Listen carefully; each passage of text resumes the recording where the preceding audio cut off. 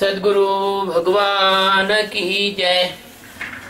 स्वामी जी महाराज की जय। शिवोहम। ओम ब्रह्मानंदम परम सुखदम केवलम ज्ञानमूर्तिम। द्वंद्वातीतं गगनसदृशं तत्त्वमस्यादिलक्ष्यम् एकं नित्यं विमलमचलं सर्वधी साक्षीभूतम्। भावातीतं त्रिगुणरहितं। सद्गुरुं तं नमामि गुरु महाराज की जय शिवोहम। आज का जो श्लोक है, वो श्लोक जो है गीता के अध्याय दो का और उनचालीसवा श्लोक है थर्टी नाइन इस श्लोक में भगवान कहते हैं अर्जुन से कि एशाम ते अभिहिता सांख्ये बुद्धिर्योगे त्विमां शृणु। बुद्धिया युक्तो यथा पार्थ। कर्मबन्धं प्रहास्यसि। संधि विच्छेद के हिसाब से ऐशाम ते अभिहिता सांख्ये। बुद्धि योगे तु इमाम शुनु। बुद्धिया युक्त यथा पार्थ कर्म बंधम प्रहास्यसि। येषाम यानी यह ते यानी तेरे लिए अभिहिता यानी कही गई। या अच्छा ज्ञान योग के विषय विषय में, तू यानी, अब तू इमाम यानी इसको सुन। है ना? ये शाम ते अभिहिता सांख्य। ये तेरे लिए जो ज्ञान योग के विषय में कही गई है। बुद्धि योग, योगे तू इमाम सुनो। अब तू इसको जो है बुद्धि योग से, के हिसाब से सुन। बुद्धिया युक्त यथा पार्थ। यदि यह बुद्धि से युक्त होकर तू अगर पार्थ, इस प्रकार से जो अगर तू हे पार्थ, इस बुद्धि से बुद्धिया यानी बुद्धि से युक्त है यानी युक्त हुआ। यथा यानी जिस, पार्थ यानी हे पार्थ कर्म बंधम कर्मों के बंधन प्रहास्यसी, यानी भली भांति त्याग देगा ये बात हम यहीं से शुरू करेंगे कि पार्थ का हमने पहले आपको बताया है कि जो परमात्मा को जानने के लिए और इस संसार की माया के पार जाने के अर्थ में जीवन जीता है, वो पार्थ होता है। पार्थ का मतलब होता है जिज्ञासु। पार्थ मतलब प्रथा पुत्र नहीं है वो। प्रथा पुत्र तो उन लोगों के लिए है जो लोग केवल शब्द का ही चारा भूसा चबाते रहते और अंततः शब्द का चारा भूसा चबाते चबाते और गधे की तरह मर जाते हैं। इस श्लोक में कर्म का बंधन काटने के लिए कर्म योग के विषय में और बुद्धि योग का वर्णन करने की भगवान की प्रस्तावना है। यहाँ से वो बुद्धि योग का वर्णन शुरू कर रहे हैं। कर्म योग का वर्णन शुरू कर रहे हैं। तो इसका शाब्दिक जो अर्थ है, वो ऐसा है कि हे पार्थ, यह बुद्धि तेरे लिए ज्ञान योग के विषय में कही गई। और अब तू इसको कर्म योग के विषय में सुन। जिस बुद्धि से युक्त हुआ तू, कर्मों के बंधन को भली भांति त्याग देगा। यानी सर्वथा नष्ट कर डालेगा भगवान सदगुरु श्री कृष्ण भगवान। अर्जुन को ज्ञान के विषय में, ज्ञान से कैसे परमात्मा को पाया जाता है? ज्ञान से परमात्मा से कैसे जुड़ा जाता है और माया से कैसे टूटा जाता है? माया से मोक्ष कैसे होता है? मोक्ष यानी छूटना कैसे होता है? ये समझाते आ रहे हैं। तुम भी अभी अज्ञान से जुड़े हो। इसी कारण से तुम लोग जीव हो। जिस दिन तुम ज्ञान से जुड़ जाओगे और वैसे, उसी दिन अज्ञान वैसे ही गायब हो जाएगा। जैसे गधे के सिर पे से सींग गायब हो जाते हैं। किसी व्यक्ति को मूर्खता पूर्वक अगर ये भ्रांति हो जाए कि गधे के सिर में सींग होते हैं, फिर उसको गधे दिखाए जाए। तो गधे एक, दो, तीन नहीं, सैकड़ों गधे दिखाए जाए और ऐसे गधे दिखाए जाए तरह तरह के नस्ल के गधे दिखाए जाए तो वो कह देगा हाँ बात सही है, गधे के सिर पे सींग नहीं होते जैसे प्रकाश के होने पर अंधकार नहीं हो सकता। प्रकाश का मतलब है अंधकार का अभाव और अंधकार का मतलब है प्रकाश का अभाव। इसी तरह से चेतना के अभाव का मतलब है मूर्छा, और गति के अभाव का मतलब है जड़ता। ऐसी बुद्धि के अभाव का मतलब है मूर्खता, ऐसे ही ज्ञान का अभाव का मतलब है जीव भाव जब ज्ञान मुझे बहुत हँसी आती है कि संसारी जो लोग होते हैं, वो ज्ञान किसको कहते हैं जो बहुत सारी किताबें लिखता है, किताबें पढ़ा हुआ होता है और बड़ा पीएचडी और डीएस डीएससी होता है, उसको कहते हैं कि भैया ज्ञानी है, बड़े ज्ञानी है। या कोई कोई कोई ग्रंथ याद कर लेता है पूरा का पूरा, हाफिज हो जाता है, कहते बड़ा ज्ञानी है। तोता रटन तो हो जाता है, उसको संसार के लोग ज्ञानी कहते हैं। बहुत हँसी आती है मुझे संसारी लोगों की परिभाषा ज्ञान की परिभाषा पे। हम्म? ज्ञान कोई शब्द है क्या? ज्ञान कोई अनुभव है क्या? अरे ज्ञान तो अवस्था है, जहाँ सारे अनुभवों से अतीत हो जाता है व्यक्ति। तो यदि आपको ज्ञान हो जाए, यानी आप जाग गए, आपको परमात्मा का बोध हो गया, और आप किस प्रकार से कर्म करते हैं, उसकी बात हो रही है यहाँ पर। या आप किस प्रकार से कर्म करें कि आपको ज्ञान में मदद मिल जाए। तो जैसे व्यक्ति अपने कर्तापने से अलग हट जाता है, अलग हो जाता है। तो ऐसा नहीं है कि वो कर्मों का त्याग कर देता है कि कर्म ही नहीं करता। ऐसा नहीं कि कोई व्यक्ति ज्ञानी हो गया, परमात्मा तत्व को प्राप्त कर लिया, परम परमहंस हो गया तो वो भोजन ही नहीं करेगा, पत्थर खाने लग जाएगा या खाएगा ही नहीं। ऐसा नहीं कि कोई ज्ञानी हो गया तो सीढ़ी से नहीं उतरेगा, छत पे से कूद जाएगा। ऐसा नहीं कि ज्ञानी हो गया तो पागल हो जाएगा। ऐसा नहीं कि ज्ञानी हो गया तो सोएगा नहीं, निंद्रा नहीं आएगी। ऐसा नहीं कि ज्ञानी हो गया है तो वो जो है, गुनगुनाएगा नहीं। ज्ञानी हो गया है तो वार्तालाप नहीं करेगा। ज्ञानी हो गया है तो हंसेगा नहीं। ज्ञानी हो गया है तो एकदम सुन्न मुन्न उदास बैठा रहेगा।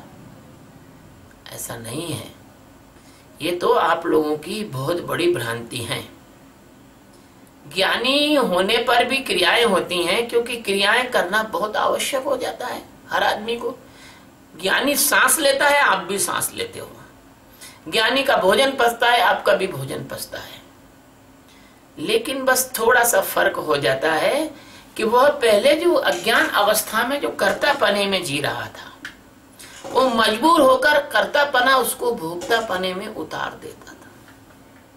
कर्ता पने में जीता था तो कर्तापना होने से वो भोक्ता पने में भी चला जाता था। लेकिन अब ज्ञान के बाद वह अकर्ता है, अभोक्ता है और सचमुच जीने का जो आनंद है, वो तो ज्ञान के बाद ही आता है। अज्ञानी आदमी तो जीता है, लेकिन मर मर के जीता है। और ज्ञानी आदमी जीता है तो क्षण क्षण में जीवन का आनंद लेता है। एक कोई शेर है जिसमें कहते हैं ना कि ज़िंदा दिल जीते हैं और मुर्दा दिल भी का खाक जिया करते हैं, ऐसा कोई शेर है? तो ज्ञानी वास्तव में ज़िंदा दिल होता है।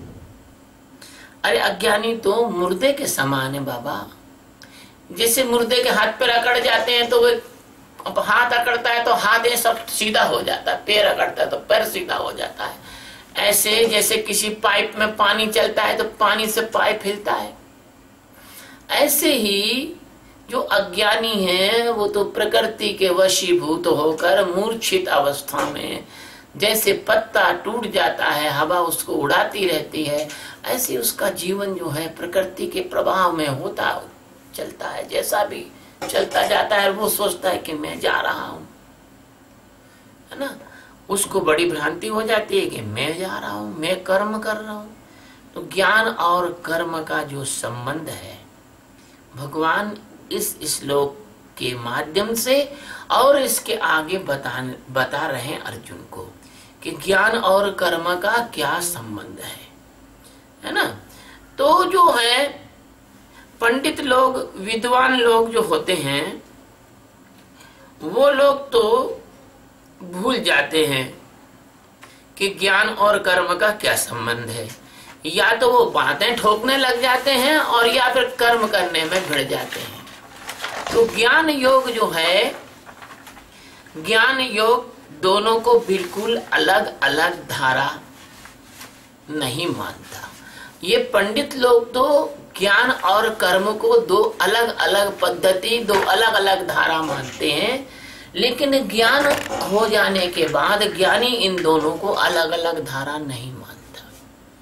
ज्ञान और कर्म बेटा एक दूसरे के संपूरक हैं। ज्ञान और कर्म एक दूसरे के सहायक हैं। ज्ञान और कर्म एक दूसरे के कॉम्प्लीमेंट हैं। सिक्के के दो पहलू हैं। ज्ञान होने के बाद जो कर्म होते हैं, वो वास्तव में होते हुए भी नहीं होते उनका जो है ऑटोमाइजेशन हो जाता है, वो अपने आप होते हैं। कर्म करने नहीं पड़ते, अपने आप होते हैं। है ना? जैसे जीवन की आवश्यकता होती है, वैसे खुद ब खुद कर्म होने लग जाते हैं। ज्ञानी को कभी भी प्राणायाम करने की ज़रूरत नहीं होती। ज्ञानी को कभी भी प्राणायाम करने की आवश्यकता नहीं होती। ज्ञानी के प्राणों का नियम, नियमन ऑटोमेटिक होता है। ज़रूरत पड़ती है तब छोटी श्वास, ज़रूरत पड़ती है तब लंबी श्वास, ज़रूरत पड़ती है तब कुंभक, ज़रूरत पड़ती है तब रेचक आप ज्ञान में खड़े हो जाइए, आपको प्राणायाम करने की ज़रूरत नहीं है। आपको ऑटोमेटिकली आपकी जो श्वास है, वो अपने आप आपकी लंबी और धीमी हो जाती है। इसलिए ज्ञानी लोग ज़्यादा समय तक जीते हैं, क्योंकि वो श्वास बहुत धीरे लेते हैं। मैं तो आपके लिए जल बोल रहा हूँ तो मुझे तो श्वास जल्दी अभी लेना पड़ रही है, क्योंकि मैं बोल रहा हूँ आपके लिए। कभी कभी ज्ञानी तो बोलते भी नहीं किसी से। तो जो प्राणों का जो नियमन है, वो आपको करना नहीं पड़ता। और एक दूसरी बात हम आपको बताएँ। मेरे सदगुरु भगवान के आश्रम में एक साधु पधारे। और वो साधु जो है, उनकी आदत थी कि सुबह पौने पाँच बजे उठकर और घूमने जाते थे दो तीन किलोमीटर, चार किलोमीटर, पाँच किलोमीटर, वो घूम कर आते थे। और सायंकाल भी भोजन के उपरांत वो घूमने जाते थे। संसारिक दृष्टि से तो वो लोग कहेंगे, वाह तो बहुत अच्छी आदत थी। गुरु महाराज को उन्होंने कुटिया का दरवाज़ा बजा के एक दिन पौने पाँच बजे जगाया। गुरु महाराज कहीं बैठे हैं, थे अपने स्वरूप में स्थित होकर। गुरु महाराज ने कहा, ये कौन है सुबह? उनको अधिकतर हम अपने सदगुरु को कभी भी दरवाज़ा नहीं बजाते थे। जब सदगुरु का, की कृपा होती थी, वो स्वयं बाहर आते तो हम सब चौंक गए कि कौन बजाया? तो देखे तो साधु। अब साधु को कौन टोके? हम लोग तो जो है, वो उस समय कच्चे थे। गुरु महाराज बाहर आए तो उन्होंने कहा, क्यों, क्या बात हुई भाई उन्होंने कहा, चलो, घूमने चलो, कहा बैठे हो यहाँ कुटिया में? तो बोले, सदगुरु भगवान ने कहा क्यों? अरे बोले, चलो, घूमने से भोजन अच्छा पचता है। भगवान ने बहुत विनम्रता पूर्वक कहा कि हम इतना भोजन करते ही नहीं है कि हमको घूम घूम के पचाना पड़े संसार के लोग सुबह उठ जाते हैं, सैर करने को जाते हैं, बाग बगीचे में जाते हैं, वहाँ प्राणायाम, आसन वगैरह करते हैं, है ना? और एक्सरसाइज करते हैं। ज्ञानी को ये कुछ करने की आवश्यकता नहीं रहती।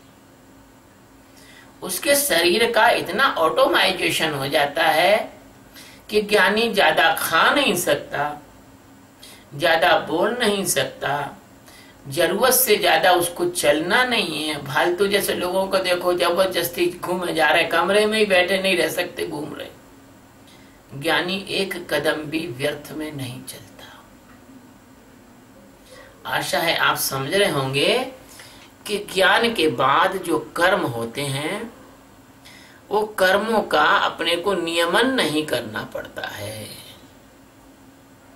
है ना? तो भगवान ने कहा कि आप घूम आओ भाई, अगर आपको भोजन पचाना है तो आप घूम आओ। और, मैं भी अपने बारे में बताऊँ कि मैंने भी जीवन में कभी ना तो मैं जिम गया हूँ, जैसे लोग जिम जाते हैं, ना मैंने एक्सरसाइज दंड बैठक कुछ किया है। मैं तो ऐसा ही सहज जन्म हुआ है, सहज परमात्मा की ओर चला हूँ, सहज उसको प्राप्त किया और सहज जीता तो ज्ञानी सहज ही जीता है। अब ज्ञान और कर्म में ज्ञान जो है, वो कर्म का नियामक है कंट्रोलिंग अथॉरिटी है। कर्म से ज्ञान का नियमन नहीं होता, बल्कि ज्ञान से कर्म का नियमन होता है। तो ज्ञानी जिस समता में ठहरा होता है उसी समता को यहाँ सांख्य शब्द से प्रयोग में लाया जाता है। इस श्लोक में सांख्य शब्द का जो प्रयोग किया गया है, वो ज्ञान के और समता के अर्थ में किया गया है। अब ज्ञान और बुद्धि, ज्ञान और बुद्धि जो है, इसका ठहर जाने का अर्थ है कि ज्ञान होने पर बुद्धि से व्यक्ति हटकर जीने लग जाता है। बुद्धि तो अज्ञानी में होती है, ज्ञानी में बुद्धि नहीं, बल्कि प्रबुद्धि होती है, ज्ञानी में प्रज्ञा होती है। अब बात जब चल रही है तो प्रज्ञा भी समझ लो कि प्रज्ञा क्या है। जैसे सूर्य के उदय होने पर प्रकाश होता है, ऐसे ज्ञान के उदय होने पर प्रज्ञा आती प्रज्ञा जो है, वो ज्ञान का रिफ्लेक्शन है, ज्ञान का प्रकाश है। The stability of mind by enlightenment ये प्रज्ञा है। अब ज्ञान और कर्म का जो संबंध है, वो भगवान अर्जुन को बता रहे हैं। क्या बता रहे हैं? भगवान कहते हैं कि कर्म को कैसे योग बनाया जाए? योग शब्द के साथ भी हमारे विश्व के लोगों ने बहुत अन्याय किया है। उन्होंने योग को एक तो योगा कर दिया। योग, योगा, भोग, भोगा, रोग, रोगा, लोग, लोगा, हँसी आती है। योग का मतलब प्राणायाम, आसन, समाधि, यम नियम मैं क्रम तोड़ के बोल रहा हूँ, या योग का मतलब षट कर्म नहीं है, नेति, धोती बस्ती, बजरोली, कपाल, भाती, कुंजन, ये योग का मतलब नहीं है।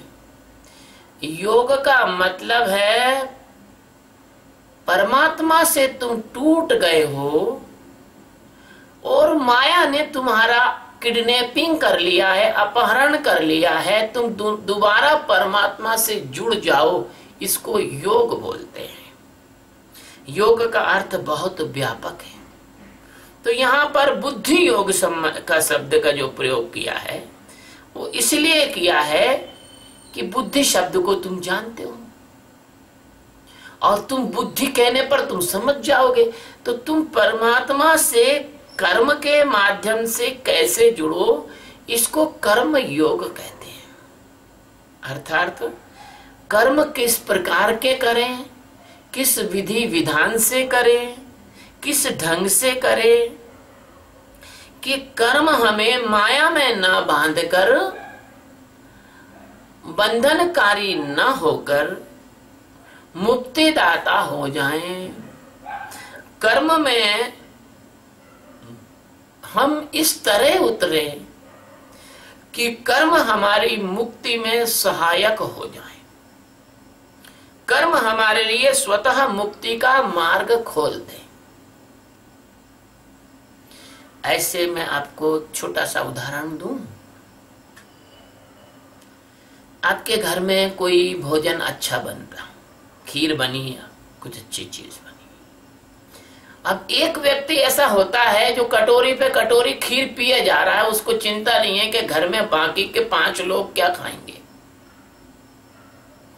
और एक व्यक्ति ऐसा होता है कि जो हिसाब से एक कटोरी उसके हिस्से की खीर खा के और शांति से दूसरा भोजन करके पेट भर के बैठ जाता है। तो जो व्यक्ति एक कटोरी खीर खा के बैठ जाएगा और ज़्यादा नहीं खाएगा उसको कहते हैं कि उसने यु, युक्ति ढंग युक्त ढंग से भोजन किया है। और जो आदमी ज़्यादा खीर खा गया और अब पेट फैल फूल गया उसका खा पी के। अब चूरन चटनी रात में ढूंढ रहा है पेट में दर्द हो रहा है या सुबह उसको अपच हो गया खट्टी डकार आ रही। तो कर्म जो है छोटे से छोटा भी कर्म होता है। उसको अज्ञानी बड़े बे, बेकार ढंग से करके अपने लिए मुसीबत का कारण पैदा कर है और ज्ञानी बड़े से बड़ा भी कर्म होता है तो इस ढंग से करता है कि वो कर्म उसको अशांत नहीं करता। कर्म की सबसे बड़ी पहचान है कि जो कर्म आपको अशांति में डाले, या पश्चाताप में डाले, या ग्लानी लाए, वो कर्म आपके लिए बंधनकारी है।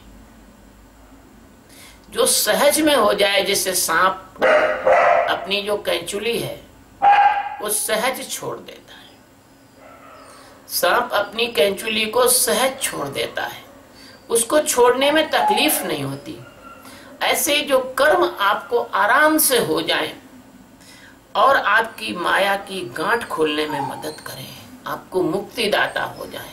वो सब वास्तव में देखा जाए ना, वो जो है कर्म है, वही कर्म कर्म योग की श्रेणी में आ सकते हैं। लेकिन वो तुम कर नहीं पाओगे। रामचरितमानस में लिखा है कि जड़ चेतने ग्रंथि पड़ गई, यद्यपि मृथा छूटत कठ नहीं। मतलब जो है, झूठी है वो, लेकिन उसकी छूटने में बड़ी कठिनाई होती है। और जैसे जैसे तुम कोशिश करते हो, वैसे वैसे वो ग्रंथि इतनी कड़क होती है, जैसे कोई वह लिया जाल फैलाता है, फंदा डालता है और कोई खरगोश इत्यादि जानवर उस फंदे में उसका पैर फंस जाता है, सियाल, लोमड़ी किसी का, वो जितना जितना छटपटाती है और फंदा कड़क होता जाता है। लेकिन क्यों? कि तुम्हारा छटपटाना, तुम्हारी अशांति, तुम्हारी घबराहट, यही तो तुम्हारा अज्ञान ही तो तुम्हें और और ज़्यादा जन्मों में भटका रहा है। सदगुरु तुम्हें समझाते हैं। मुझे बुद्ध का स्मरण आ गया यहाँ। भगवान बुद्ध ने कहा, तथागत। तथागत का मतलब जैसा हो रहा है, उसको गुजर जाने दो। उससे लड़ो मत। शांत हो जाओ। जो भी आएगा, तुम्हारे अंदर से गुजर जाएगा। जैसे कल बताया था, आकाश में वर्षा होती है। ग्रीष्म ऋतु की गर्मी तप्त हुई लू लपट चलती है। ठंड की बयार आती है, बर्फ़ जम जाता है, पत्ते जम जाते हैं। आकाश कभी नहीं जमता। तो जो गुजर जाए, उसको गुजर जाने दो। तुम्हारे अंदर वो खरोच पैदा नहीं कर पाएगा। यदि सदगुरु का तुम्हारे पास साथ हो तो वही तुम्हारी इस गांठ को खोलने में मदद कर सकते हैं। फिर रामचरितमानस की बात आती है कि जो बिरंचित शंकर सम होई विन गुरु भवनिधि तरह की कोई। अगर जो ब्रह्मा के समान भी और शंकर के समान भी सामर्थ्यवान हो तो वो व्यक्ति कभी संसार सागर को तर नहीं सकता। जब तक जब तक जो है ब्रह्मा अगर ब्रह्मा के समान भी अगर कोई हो जाए तो संसार सागर को तरना संभव नहीं है। कब तक नहीं तरना संभव है? जब तक कोई सदगुरु तुम्हें उस संसार सागर से पार ले जाने के लिए तुम्हें तुम्हारी मदद नहीं कर, करे तब तक। तो यह जो श्लोक है श्लोक कह रहा है कि कर्म योग, कर्म को कैसे योग बनाया जाए? हम कर्म को योग नहीं बनाते, हम कर्म भोग भोगते हैं। हम कर्म योग नहीं जानते। हम कर्मों से मुक्त होने का मार्ग नहीं जानते। कर्मों से मुक्त होने का मार्ग हमें सदगुरु ही बता सकते हैं, और उनका बताना मात्र नहीं, उनका तुम्हारे साथ सारथी बन के रहना भी ज़रूरी है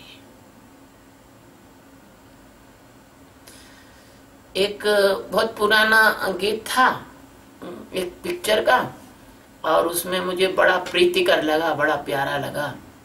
एक नायिका होती है, वो गाती है कि दुनिया में ऐसा कहाँ सब का नसीब है कोई कोई अपने पिया के करीब है। तो ये सदगुरु नामक जो पिया है, पिया मतलब सबसे प्यारा। वो कहती है, चाहे बुझा दे कोई दीपक सारे, राह दिखाते जाए रात में तारे। है ना? तो चाहे कुछ भी, सारे दीपक बुझ जाए, लेकिन अगर सदगुरु हो तुम्हारे साथ तो तुम्हें किसी और के दीपक की ज़रूरत नहीं है।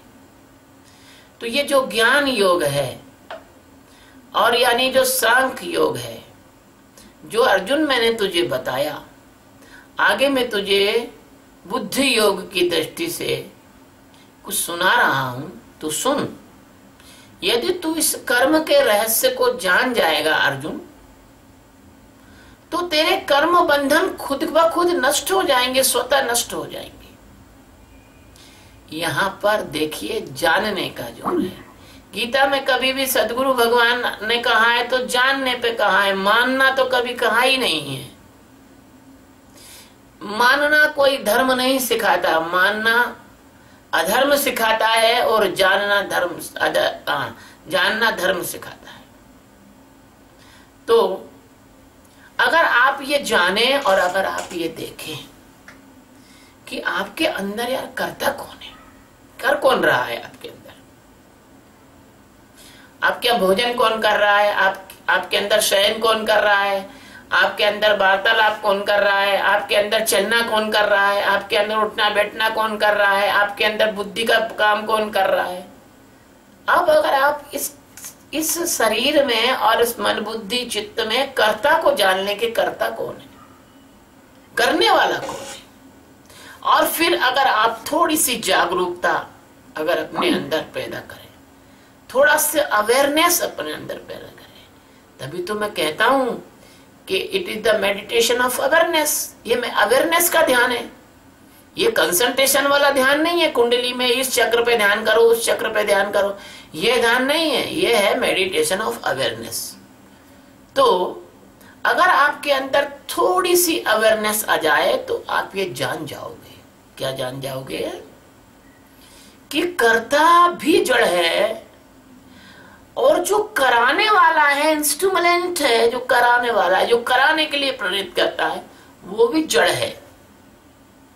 क्योंकि जिसे भी आप देख सकते हैं और जान सकते हैं, वो सब जड़ होता है, इंद्रियों के अंतर्गत होता है। आपको भूख क्यों लगती है?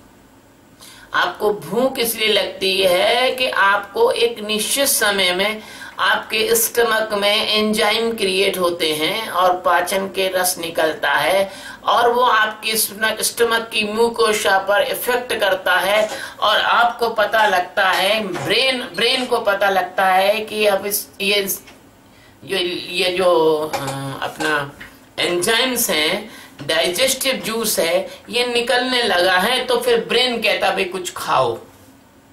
बताइए। खाता कौन है? करता कौन है?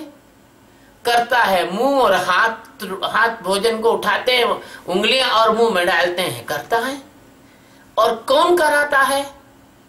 वो डाइजेस्टिव जो जूस है, वो कराता है। और कौन कराने का प्रेरित करता है? इंस्टिमुलेशन कौन करता है? वो ब्रेन करता है, दिमाग करता है। बताइए, तीनों तो जड़ है भैया। मुर्दे में भी दिमाग होता है। है ना? मुर्दे के अंदर भी दिमाग होता है।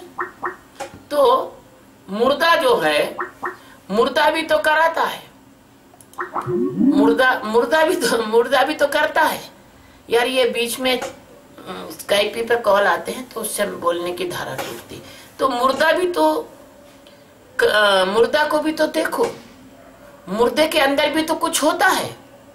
मुर्दे के बाल बढ़ने लग जाए बढ़ते रहते हैं नाखून बढ़ते रहते हैं।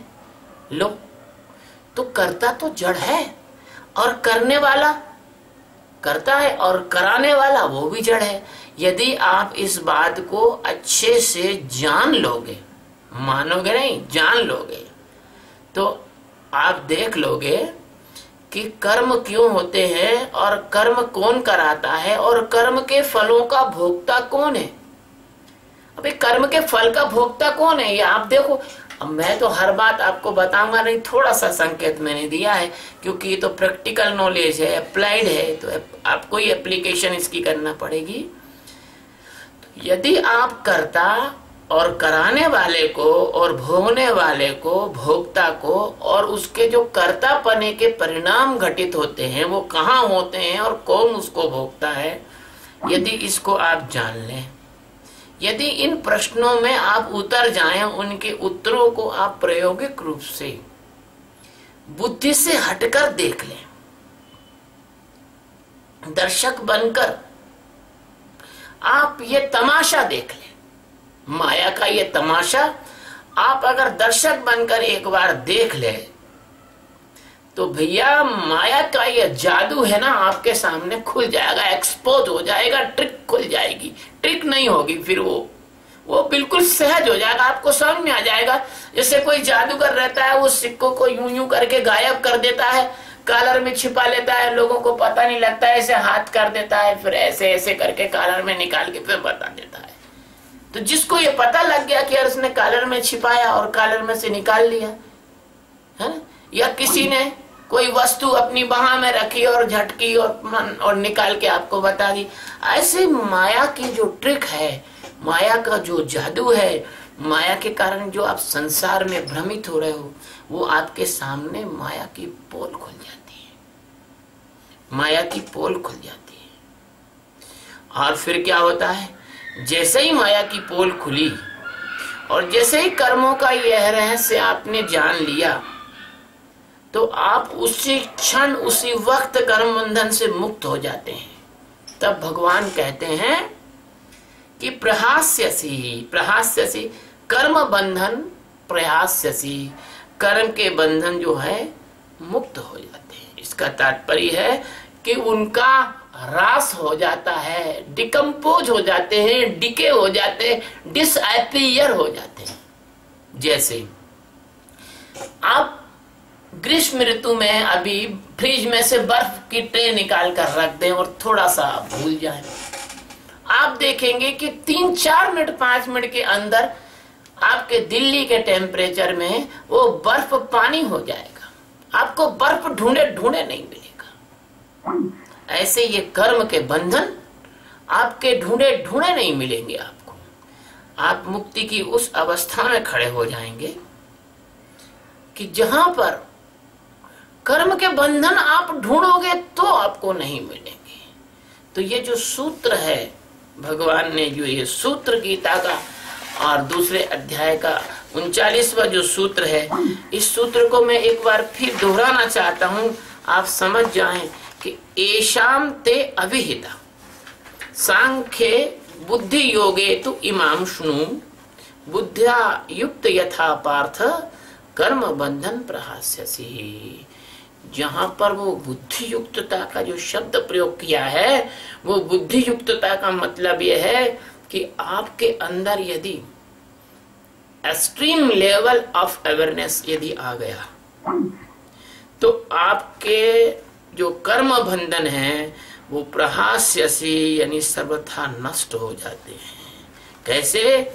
कि यदि तू कर्मों को भली भांति करेगा भली भांति करना, यानी होश में करना। भगवान बुद्ध के पास एक भिक्षु आया। भगवान ने कहा कि तुम जो भी करो, होश में करो, जाग कर करो। भिक्षु की नाक पर मक्खी बैठी थी। उसने ऐसे करके मक्खी भगा दी। उसने कहा मैंने तो ये बेहोशी से भगाई है। तो मक्खी तो भाग चुकी थी, लेकिन उसने दूसरी बार ऐसे करके हाथ से, होश हाथ घुमाया। और भिक्षु बैठे थे तो एक दो कच्चे भिक्षु हंसने लगे। उन्हें बोले, आपने ऐसा क्यों किया कि आपने दोबारा हाथ घुमाया? तो उन्होंने कहा कि भाई, मैंने बेहोशी से हाथ घुमा दिया था। मैंने ये जो हाथ था, ये बेहोशी में घुमा दिया था। मैं उस वक्त अवेयरनेस में नहीं था, जागरूकता में नहीं था। मैं बेहोश था। अब मैंने ये हाथ होश पूर्वक घुमाया है। अब मैंने जो हाथ घुमाया है होश पूर्वक घुमाया है। तो ऐसे जो तुम्हारा जीवन शिव ऐसे तुम्हारा जो जीवन है उसका प्रत्येक कर्म यदि होश पूर्वक होने लगे तो होश पूर्वक किए गए कर्मों से तुम इस कर्म बंधन को सर्वथा नष्ट कर दोगे। इसलिए भगवान सदगुरु की कृपा से मैं आप सब लोगों को होश सिखाता हूँ, द मेडिटेशन ऑफ़ अवेयरनेस सिखाता हूँ, मेडिटेशन ऑफ़ कंसंट्रेशन नहीं सिखाता हूँ आपको किसी प्रकार की चीज़ को मान लो, ऐसा नहीं कहता हूँ। आपसे कहता हूँ, आप जान लो। मैं जो कहता हूँ, उसको मानो मत। मैं जो कहता हूँ, उसको करके अपने अंदर जानो। ये गीता का दूसरे अध्याय का उनचालीसवा सूत्र भगवान सदगुरु की कृपा से इतना ही आज कहना उचित होगा। कहने को तो बहुत अनंत है। लेकिन अनंत को आप अनंत में खड़े होकर ही ज्ञान की आवाज़ सुन लेना। अभी आप अनंत की ओर आपको मैं धक्का दे रहा हूँ। शब्द मात्र माध्यम है। सदगुरु भगवान की जय, स्वामी जी महाराज की जय। शिवो हम।